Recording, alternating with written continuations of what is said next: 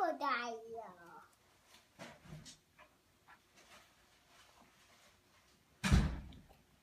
Just sprinkle a little bit. You gonna read it to me, Mom? No, you read it to us. Oh. You were doing a great job. Were you reading it? Where's Spot?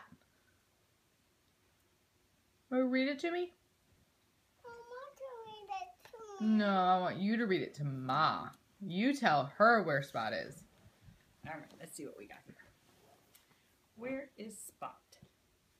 Is he hiding? Is he behind the door? There's It's a bear. Oh no! And what is he eating? Honey. Honey. You like honey, don't you? Mhm. All right, you read the next one, Sam Allen. No, Mom read No, you read it. No, Mom read